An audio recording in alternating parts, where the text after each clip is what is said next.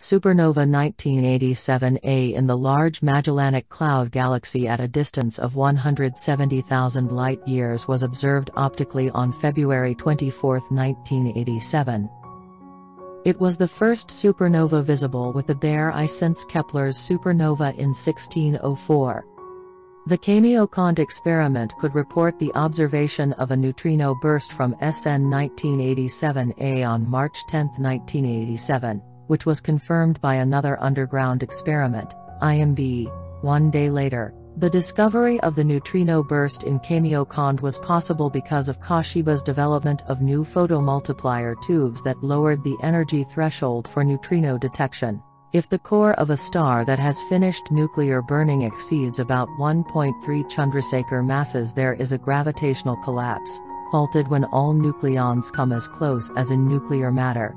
The process electron plus proton goes to neutron plus neutrino gives a neutrino burst. Antineutrinos are also produced by annihilation. The final radius is about 10 kilometers and the total energy released, equal for the different neutrino species, is about 3 times 10 to the 46th joule. The mean neutrino energies are 10 to 20 megaelectron volts. Of the 10 to the 16th neutrinos hitting the Kamiokande experiment, only 12 were detected. The observed neutrino burst confirmed the supernova theory that an enormous number of neutrinos are emitted.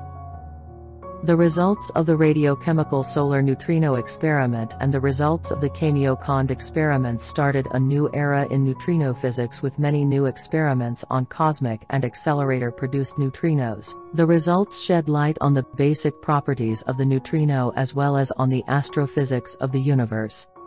A supernova explosion is expected to occur in our galaxy once every 10 to 50 years. If such an explosion occurs, Super Kamiokande is expected to detect about 8,000 neutrinos. We will be able to reveal the mechanism of supernova explosions by analyzing the information of the energy and the arrival time of these neutrinos.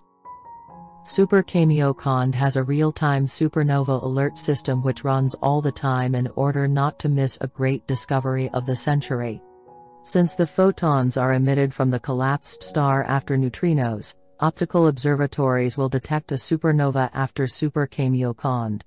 Therefore, an announcement from Super Kamiokande will help astronomers in the word to watch the moment of the explosion.